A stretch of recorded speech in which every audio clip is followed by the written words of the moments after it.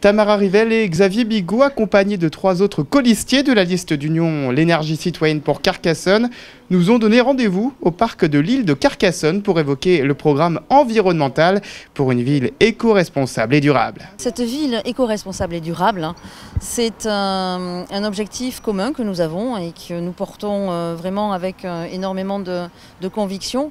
Nous pensons que c'est à l'échelle communale, euh, avec une implication au quotidien sur l'ensemble des projets que nous mènerons, qui seront regardés à l'instar de, de, la répercussion environnementale, que nous mènerons l'ensemble des projets.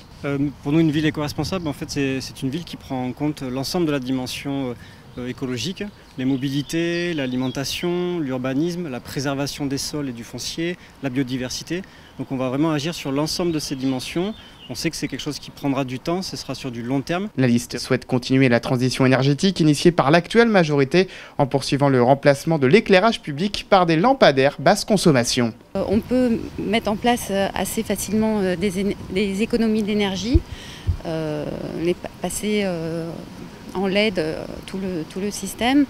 Euh, aujourd'hui, quand on investit 100 euh, 000 euros dans, dans l'éclairage public, on peut en retirer 50 000 euros rapidement en, termes d'économie. Donc c'est quelque chose qui est tout de suite valable et sur lequel on peut agir rapidement. Autre axe du programme, les déplacements avec le développement des mobilités douces pour laisser plus de place aux piétons et aux vélos par les mises en place notamment de zones à 30 km/h en ville.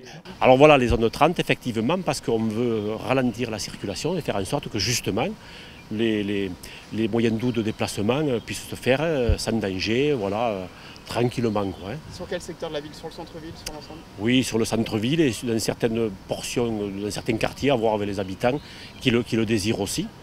Il faut élargir la piétonisation euh, du centre-ville, il faut développer plus encore les, pistes et les, voies cyclables. Voilà, donc il y aura des choix à faire puisqu'il y a un partage quelque part de l'emprise publique, euh, notamment, euh, qu'on aura opéré. On fera ça avec les gens, hein, en concertation. Tamara Rivel et Xavier Bigot promettent, s'ils sont élus, de faire de l'écologie le point central de l'action de la ville pour répondre à l'urgence climatique.